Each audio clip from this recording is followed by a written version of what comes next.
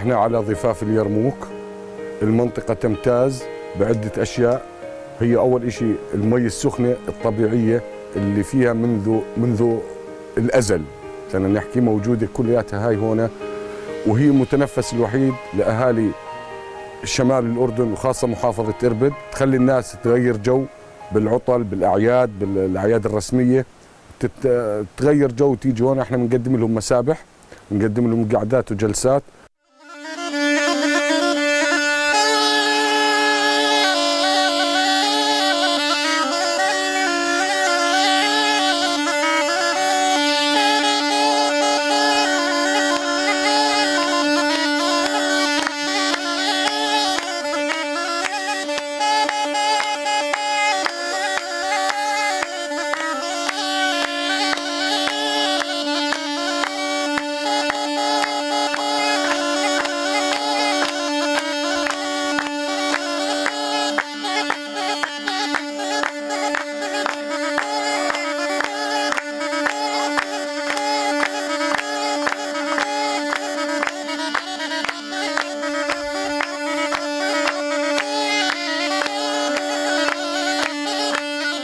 بصراحة المكان يعني بجنن ومتنفس كمان لأهل الشمال وبشكل عام لأهل الأردن كاملة.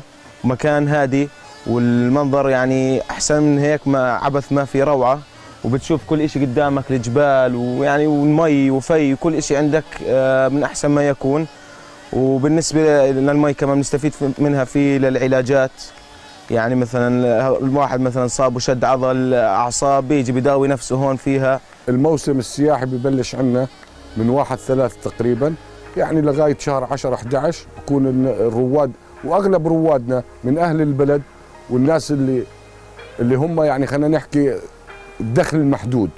لأنه إحنا بنأخذ أسعار رمزية جدا على الدخوليات مقابل الخدمات اللي بنقدمها.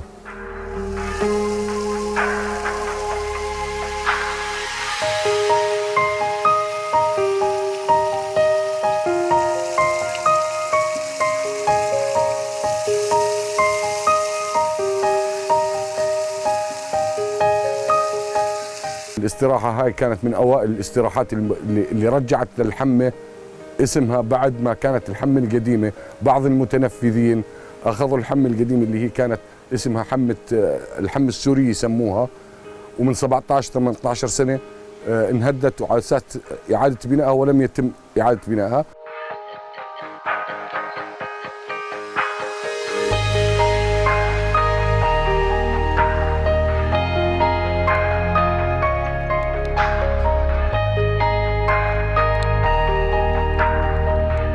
الطبيعة الخلابة هاي ورانا الجولان وهاي ورانا المنطقة هاي كلها هاي الجولان السورية.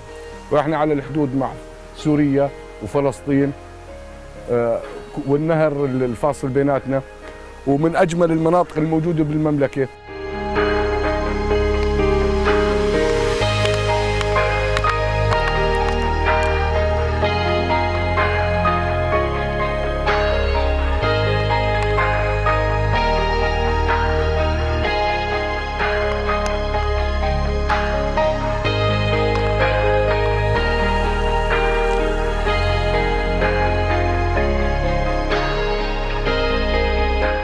إذا في مخيبه بالأردن ما بدروش عنها. وهذا أكبر غلط. وإحنا بنطالب المسؤولين يزيروا بالهم على هالمنطقة يساعدوا الناس. هاي من المناطق المنكوبة أصلا. الناس فيها آه، كلها يعني بسيطة جدا.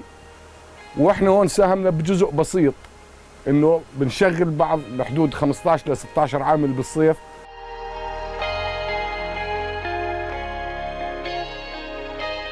الفندق مع الساحات الخارجية المنتجع تبعه راح يوفر حوالي 25 فرصة عمل وراح يكونوا من أهل البلد هون. المنطقة سياحية فيها مي معدنية سخنة آه، في عنا نهر اليرموك بجمنا آه، في جبال الجولان في مناظر طبيعية شجر آه، وبيجيها سواح أجانب وبيجيها سواح من دول الخليج وبيجيها سواح من الأردن.